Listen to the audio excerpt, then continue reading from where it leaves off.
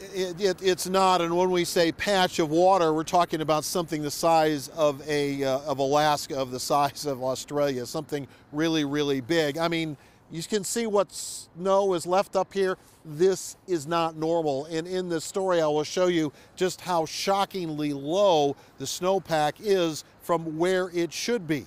That last blob formed starting in 2013. Now it appears to be here in back. The summers of 2014 and 2015 saw back to back record fire seasons. The peak buildup of snowpack by the spring of 2015 turned out pathetically low.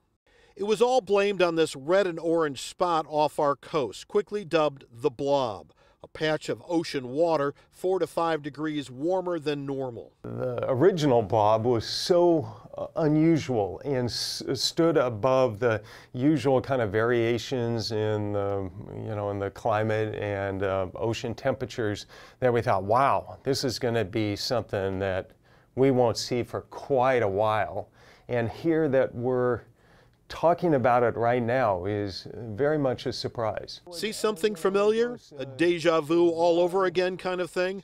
This picture is now. Another so called marine heat wave with temperatures 4 to 5 degrees Fahrenheit warmer than normal. Blob 2.0, you know, whatever. Nick Bond is the state climatologist, and like the first blob, he's walking us through the potential impacts of this one now. This is the current snowpack map. Central Puget Sound 5%, the upper Yakima Basin 7%. In other words, 95% of the snow we should have on the ground isn't there. Can we blame Blob 2.0 for everything that goes wrong? I like to put it in a casino analogy that having this warm water stacks the deck toward us having uh, warmer than normal air temperatures.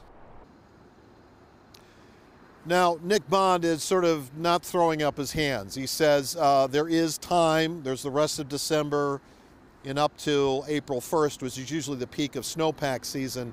He says we can sort of make up for it, but if we're having the same discussion a month from now, says we could be in real trouble. Live at Snoqualmie Pass, Glenn Farley, King 5 News.